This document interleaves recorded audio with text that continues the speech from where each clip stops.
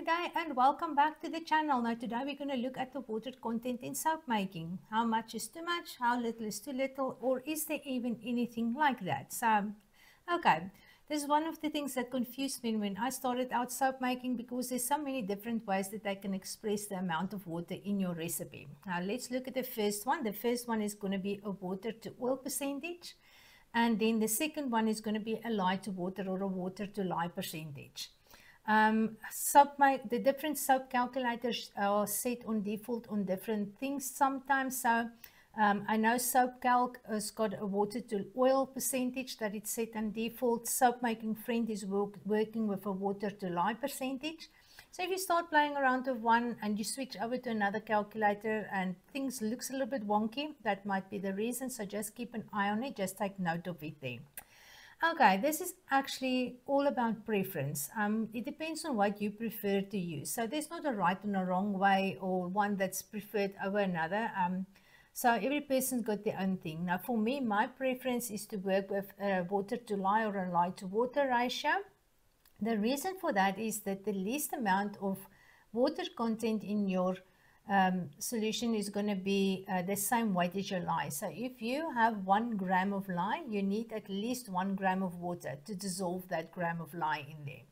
Now, the reason also why I call it the water content and not just water is um, or liquid is that if you start playing around with stuff like milk, then milk, remember there's some milk solids in there, there are some sugars, um, if it's a full cream milk, there is maybe up to 3% cream in there. That is actually oil and not water. So milk is not 100% water. So if you work on a one-to-one -one ratio with um, lye to milk, then there might not be enough water in there to dissolve your lye in it. So just keep that in mind when you play around with different things. Okay, so because it's a lye to water ratio that is um, required for the dissolve to dissolve uh, your lye. Um, I prefer to work with a lye to water ratio and not a lye, uh, the water to oil ratio here. So, and then the lye to water um, ratio can also be expressed uh, in two different ways. So that might make it even a little bit more confusing here. So um, you can express it in parts. So it's one part lye to one part water or one part lye to two parts water but it can also be expressed in percentages. So a one-to-one, -one, so one part lye to one part water can be 50% or 50% lye, 50% water. Now the percentage always points to the amount of lye in this solution here. So if you've got a 1 to 2 ratio, one part lye, two parts water, then it's going to be 33% lye, and the rest is going to be water. So um, if you see a percentage there, then you know it's 33% lye and the rest is going to be 66.6666% water on that side. So 33% um, uh, is actually more water than a 50% because we're not looking at the water here, we're looking at the lye part in the solution. So that can also be a bit confusing.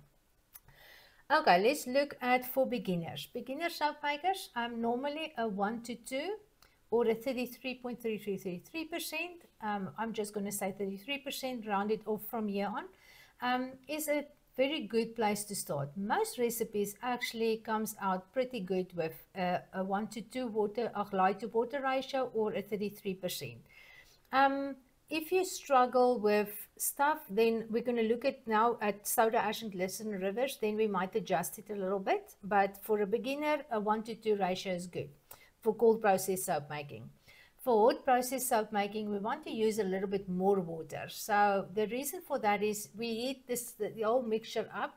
Um, this steam um, water evaporates, so you lose quite a lot of uh, moisture during the half an hour, hour, whatever you are heating up the soap mixture. And if you don't use enough water to start with, it starts to become gummy or it can even become crumbly and you struggle to get it into the mold after the cook. So just keep that in mind. Um, a lot of that moisture does cook out. It's not always, it's not staying in there. Um, so start with a little bit more. Now a good ratio is going to be a 1 to 2,8. It's nearly a 1 to 3. 1 to 3, you tend to struggle sometimes to get a stable emulsion. So a 1 to 2.8 is a very good place to start if you want to put the percentage in a calculator. um, 26% for hot process soap is a good place for a beginner soap maker to start with that. Okay, cold process soap makers. Why would we like to um, adjust the amount of water that we use?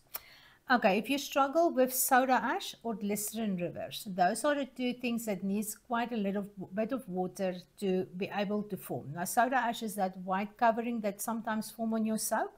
And glycerin rivers, oh, it's beautiful.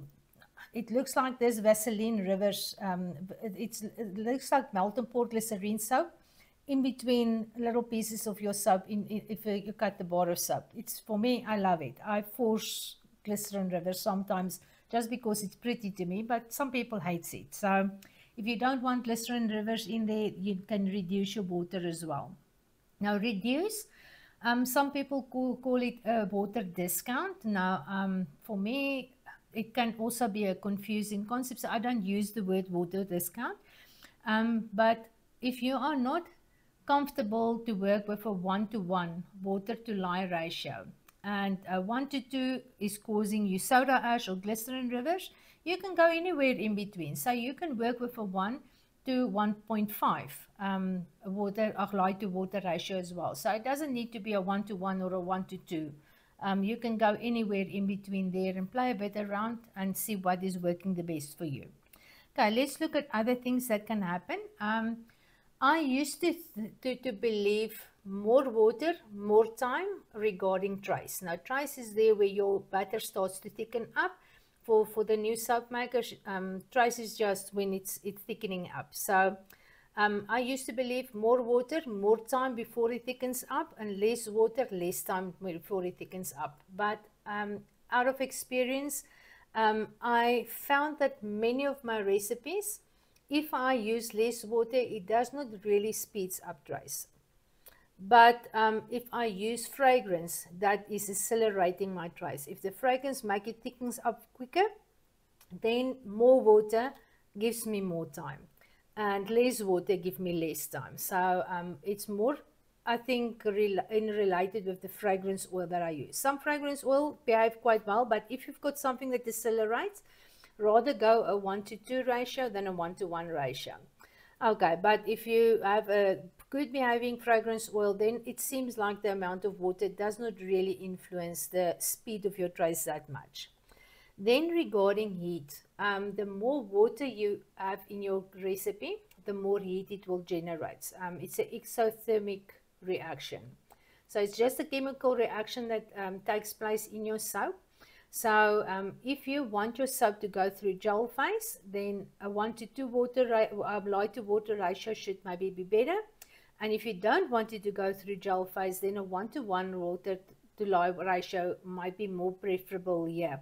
But that also depends on the temperature that you start out your soap making. If you start with really hot oils and a really warm um, lye solution, then even a one-to-one -one might go through gel phase anyway because you started out of a really warm solution there. So um, just keep that also in mind. But um, gel phase for the new soap makers, it's where it looks like it goes through a, uh, like a Vaseline like phase. Um, in your mold, it might look like a darker part on top, um, starting in the middle. Um, that is the gel phase forming there. Um, gel phase just brings out your colors, makes it brighter and so on. Um, if it goes through gel phase, sometimes you can unmold a little bit faster but you don't need to go through gel phase um, and if you don't like the darker colors if you want something maybe a little bit more like a pastel kind of thing then you don't want it to go through gel phase then a one-to-one water to lye ratio might be better for you. Um, so yeah it all depends. Um, gel phase is just also preference what it looks like. It does not influence the end product in your soap. Um, it will gel or no gel or just a gel ring in the middle that just started to gel and didn't gel all the way to the sides. Doesn't matter, still excellent soap. It will wash. Okay, so I hope that is going to help you um, to understand how much water and where all these lots of different numbers and ways and ratios come from.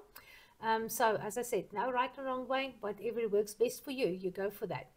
Okay, you must be blessed. You must have a lovely day. And if you've got any more questions, just ask in um, I will come back to you and um, look in the description box. I will leave links there for soda ash and trace as well um, and things like that because it's not always just the water amount that um, influences that.